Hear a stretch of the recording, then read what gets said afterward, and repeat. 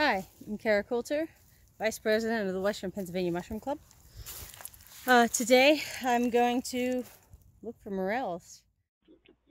So I made this chart. It shows you the four most common species of morel in Pennsylvania and when compared to each other about when they fruit. So you'll see Morchella angusticeps fruits much earlier than Morchella americana because of this, if you're looking around and you find a few black morels or some half-free morels, and you're wondering, gee, why can't I find any of these white morels? Well, it's because they're not out yet. They're just not prime yet. You might just need to wait a little bit longer.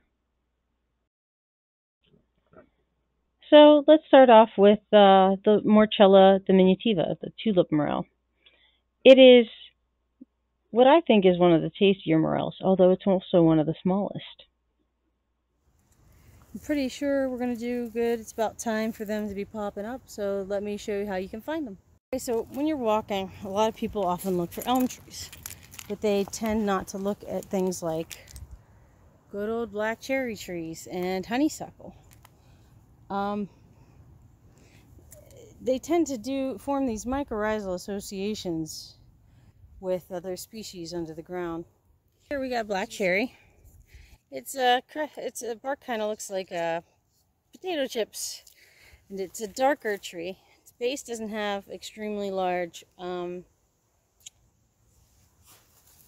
buttresses like say elm, but you know they're there, and they can be nice and thick, tall and straight. So uh, if we go ahead and we just start looking around the base of this, we can already find one of our little guys. Yeah, and this is Morchella diminutiva. You can see it's very small. It's not ready to be picked at the moment. Give it a couple days and we should be fine. And uh, they tend to grow around spice bush as well. So I tend to find this connection between um, the black cherry and the spice bushes. And as you can see, in this situation, it's working. so how you can tell if it's spice bushes, if you take one little leaf, crush it up, and then bring it to your nose and smell it, you'll have this really lovely aroma. So that's how you know it's spice bush. Son says he found something good over here. What do we got? Oh. Just slipped on yourself. Uh, all right, so we, I'm sorry. So you can see, my son found a nice uh, bigger diminutiva. Still a little small, might let it grow a bit, but it's probably going to be pretty nice. Again, so this here, again, another spice bush. See, near this connection, and we've got these black cherry trees around here. And there just seems to be some kind of connection. So if you see these black cherries and these uh, spice bush, just look around the bases and you could do quite well for uh, the tulip poplar morels, otherwise known as Morchella diminutiva. Oh, we got another little guy here, see him? So this spot, in a little bit, yeah, you found most of these, Tristan. You pretty much found all of these. This is why you bring children with you, because they have good eyesight. And uh, they can find them very easily. And they enjoy it, right, Tristan? Did you find another one? I also I just remember. See? Bring your kids. Very good, so, but I found one. It's a baby. Look at that. It's just starting to pop. Oh, man. A couple more days and we're getting some rain tomorrow. And we've got this guy right here. He always does so well at finding these things. He's just good. Look at that one right there. Oh, man. Look at more. See? He's doing always worth it to bring the kids. stepped on that one. Mommy, you almost stepped on that one that you... Uh-oh. I didn't, though, did I? Did I step on it? Try not to be a clod like me. Okay, again, let's see. Why do you think that they'd be here, Tristan? What's here? We've got some dead trees. We've got that black cherry there. Black cherry there. Very sketchy tree that's probably gonna Black cherry, but what else? What else do we have? We also have That's one. right, spice bush. Got these spice bush here, and look, there they are, just growing around it. So nice, and look at how nice and moist everything is here, right? So here is what we were able to collect throughout the day, all from looking around the spice bush. Now you'll see the different variations in colors, but after microscopy, these all were the same species, and they were all Morchella diminutiva, which is really interesting. The second morel I'd like to cover here is Morchella angusticeps. It's one of the earliest fruiting morels. Right. These are beautiful. Do you see that? Look at that. So this one here is Morchella angusticeps. This is a black morel. Now you can see how they have a more conical top, but they're they're full to the stem.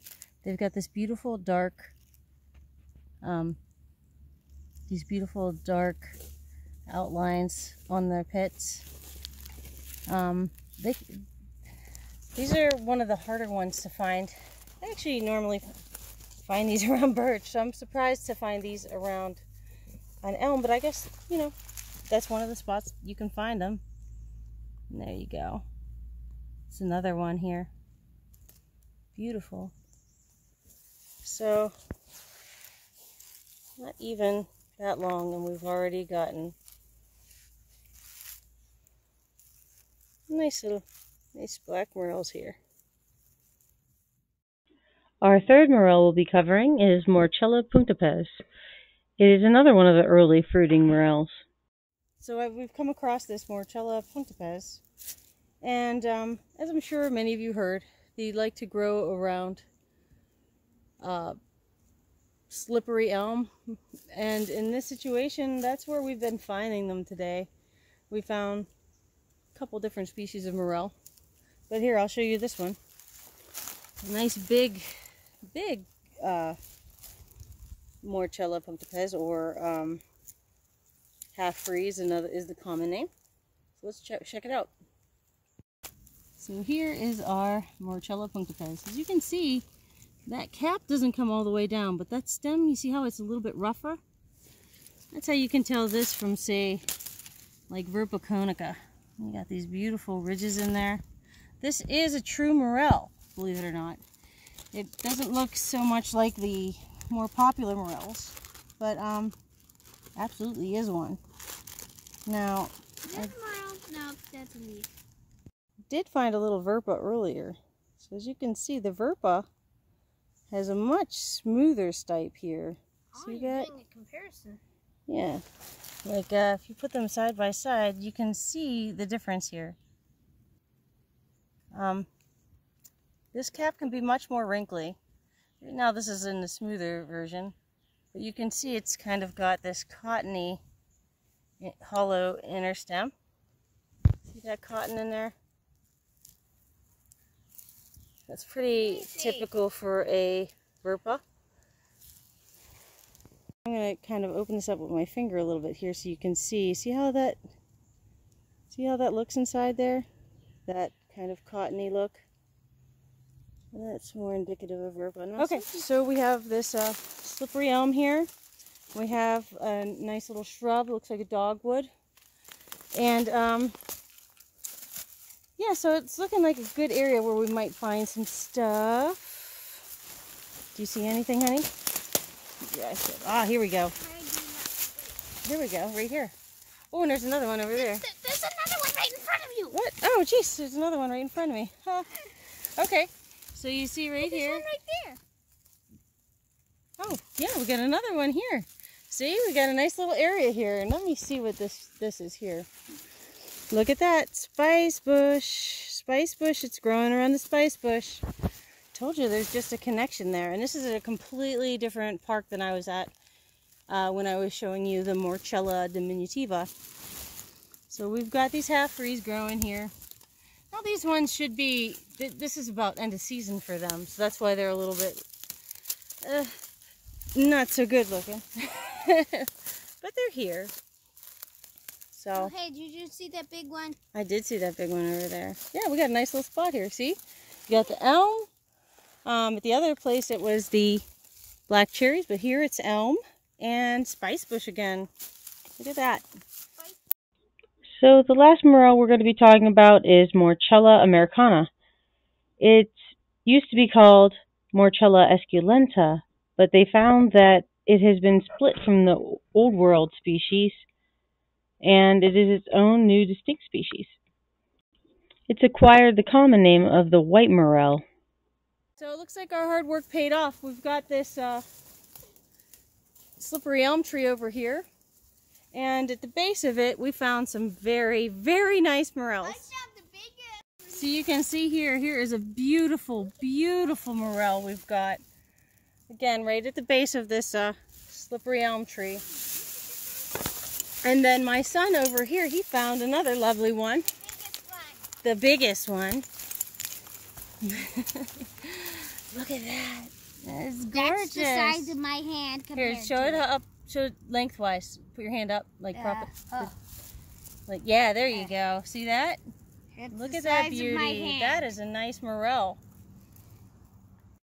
So here you are. We've got uh, this nice, beautiful one here, and then.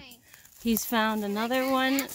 I mean, we just And keep finding them. Two more over They're all there. You find the right stuff, you find the right trees, and you will just keep finding them. So we we've got about what, like four or five. Oh, there's Five. another one over there, honey. Where? Look, see it? Oh my! There's a lot. Yeah, look at that. Right over here, we got another big one. See that? Look at how beautiful that is. So, you know, just keep going and you'll find it. Oh, and look, there's some Peziza too. That's interesting. Actually, that might not be Peziza. You know what that is?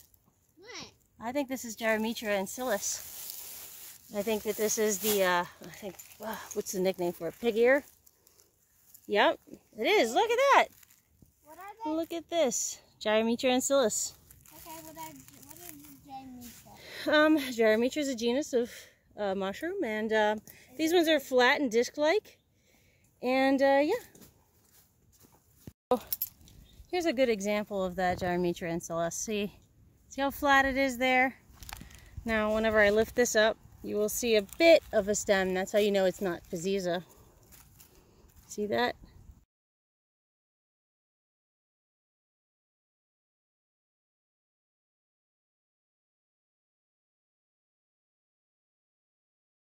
I'm going to show you Morchella diminutiva. I think these ones are. Ah! I think these ones are quite yummy. And what? Um, yes. But uh, we found some cool rust fungi and some some weird mushroom species. So I hope this helps you find your first morel. Just while searching for these, I already had two people catch me, and uh, I'm, you know, I showed them where I found them. So long as they promise not to hunt here. yeah, but so I'm happy to show at least two people their first morels. Um, all right, so I hope you get out there this weekend. Get out, have fun, and look for uh, look for those connections.